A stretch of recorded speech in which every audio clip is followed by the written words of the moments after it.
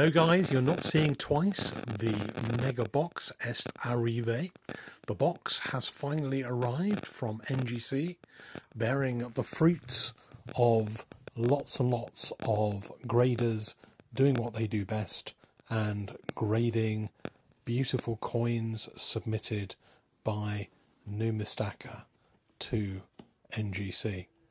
So it's a big box, and uh, so do the usual. Go and make a nice cup of tea or coffee if it's in the morning, or uh, if you're in the Far East, maybe uh, a bowl of soup or some noodles, whatever your fancy. You'll probably need it to get through these next six quite long mega box, mega grading videos. Uh, I'll probably put some other stuff in between them, so uh, over the next week or two, you will see the fruits of all of these boxes and see what other people are grading and learn some lessons um, and just share with me the whole experience of the results of NGC grading. Each one of these double boxes contains about 40 coins, so there's um, some of them aren't quite full, but 40, 80, 160. There's probably about 160 or more coins that are in this box, which are going to be shown to you over the next videos. There are six videos in this little series, and uh, there they all are in their finery directly from NGC graders. Um, so let's have a look and see what's in the first box. And here we have in box number one, beautifully taped up by NGC's dispatch department. And uh, no one has touched this box since it was loaded by uh, NGC's loaders. And so you guys are going to be the first people to see what is inside this beautiful box. Aha! Okay, so this box does not contain coins, but uh, it contains a little teaser for you because um, one of the things that I did recently was source some 2018 India sovereigns, 20 of them in fact, for Facebook groups and members of the Silver Forum.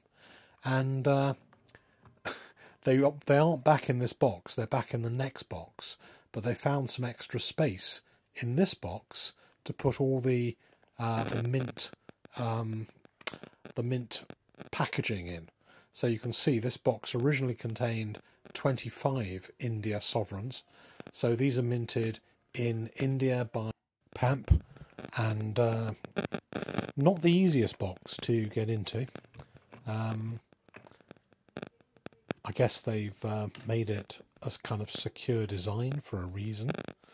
But um, next, now I know these things come in boxes of 25, then uh, maybe next time I'll do 25. That seems to be an easier amount, and we can do uh, a bulk order. But here you see they've changed the packaging a little bit um, this time. Previously, it's been a bright red packaging, and now you see they've got the same thing in a maroon colour and they've done it I think to match the Royal Mint proof box which is in the same shade of maroon. So they've kind of made it made it match. It's got a certificate of authenticity with a barcode. Not sure what's on the barcode. And normally there's a serial number on it. At least there previously has been a serial number. It didn't look like there was a serial number anymore on the 2018 ones. And this is obviously part of a new agreement because the original license for this only went from 2013 to 2017. So let's take a look at the big box number one. So uh, hopefully you'll stay with me right to the end of this video. It's uh, normally about 10 minutes to show you half a box uh, of these sovereigns. So uh, the first half of this box you'll see in this video and then in the next video you'll see the second half of this box as well. So here we are in box number one. What little surprises are going to be in store? So as you can see, this box is one and a half kind of rows. Um, going to take the little row, finish that off in this video, and then in the next video we'll do the the first half of it. So let's take a look at what we've got. This one was a mechanical. So mechanical is where NGC cock it up. And in this case, the cock up was that uh, it's a 2010 coin. The original holder said 2012. Uh, I think the, the person on the labelling machine must have had a few too many coins or at the end of a shift or something. So uh, that didn't work out very well. Um, this one is another mechanical. I can't remember what was wrong with this coin. Um, I must look it up, but whatever they've done to it now, it's uh, beautifully labelled, beautifully holdered, and just a really, really lovely South African wildlife theme coin. Uh, 2002 um,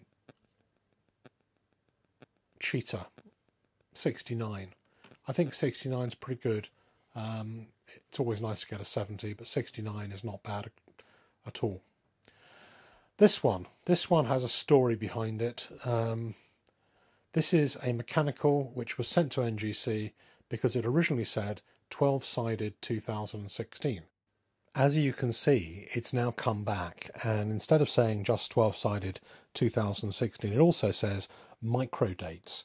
Um, I think this coin does have micro dates, but that's not the reason for the error. I mean, what should be blindingly obvious to you is that it's all one colour, whereas if you know the British pound, the 12 sided pound, it's a bicolour coin.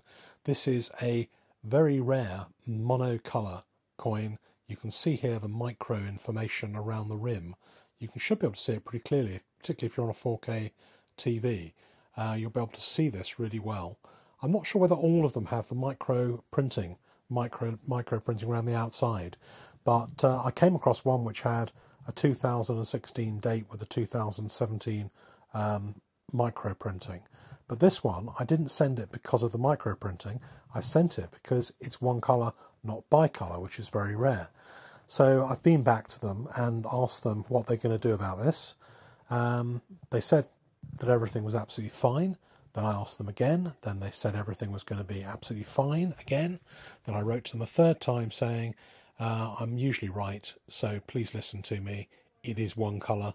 It should be bicolour. Please, can you get the graders to look at it again? And then finally, they agreed to let me send it back as a mechanical for the third time and let the graders look at it, and maybe in their infinite wisdom they might recognize that actually it is one single color of metal rather than two colors. So I'm hopeful that that will come back right the third time.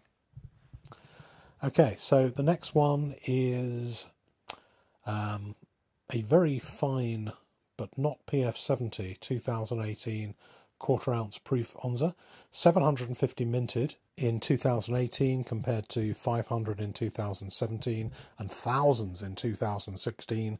Uh, not a great year to buy. Um, this is my one, my personal one, and uh, I wish it had got a 70, but it just shows you. Sometimes when I put my name on a coin, NGC look at it and they say, you know, serve him right, we'll give him a 69 and we'll give some of the other people a 70. I'm pretty sure that's what happens. It's not fair, but I guess that's their way of evening it out. This one, this one is rather special. Uh, everyone loves a Europe theme coin. Uh, I think it's quite a nice design. Um, gold 50p's are on the up. Uh, watch out for gold 50p's. I think there's going to be a lot of interest over the next few years in 50 pences generally from the UK. Gold ones are the pinnacle of Royal Mint 50 pences, and uh, this one is a pretty early one, in lovely condition, PF70, nothing at all wrong with that, and highly desirable. 2004 One Sovereign, PF70. I guess with all the grading I'm doing, I'm probably adding um, quite a lot to the populations of a lot of the sovereigns. Uh, I think that that's not a bad thing. I think it will make make sovereigns uh, maybe a little more popular than they were a couple of years ago. Lots of people now collecting these. And just look at this one. This one was conserved by NCS. Um, it was from a four coin set. and um, it wasn't totally perfect, so I picked it out for conservation, and after conservation, it's got a 70. Um, is it a waste of money conserving modern coins? I I think that for proofs, it's often worth the extra payment to get NCS to look at them, review them, and clean them off uh, before they're graded. Um, and I think the numbers of 70s that come out of that process is higher than it would otherwise have been if they'd have just gone to NGC to be graded. Uh, but it is around what uh, eleven dollars or so more expensive to have these modern coins conserved. And in fact, they've now changed their price list from January the 1st. I'm just trying to get clarification, but I believe that modern gold is actually going to be $30 to get conserved as opposed to 11. Um, so I'm just trying to find out exactly what is going on with them. But you can see a lot of this modern gold when it's conserved. Uh, if it's if it turns out um, 70, that is a pretty good result. And does 70 add anything to the value of these coins? Uh, is it worth grading modern bullion? That's the subject of another video. Uh, but what I can tell you is when I've seen recent sales of 70 grade sovereigns like this, they're anything between 20 and 40% more than a 69 might be. And here's one that's just come in from grading. This one looks to be pretty nice as well. Um, will it get conserved? Not sure yet, but uh, hopefully it'll come out a 70, the same as the other one. The Sovereign, harder to get a 70 on the Sovereign. They're much more stingy, I think, with 70s for some reason on the Sovereign. This one got a 69, but I have had a few 70s. Uh, it's not impossible, and the 70 will add quite a lot to the value of the 89 Sovereign in particular.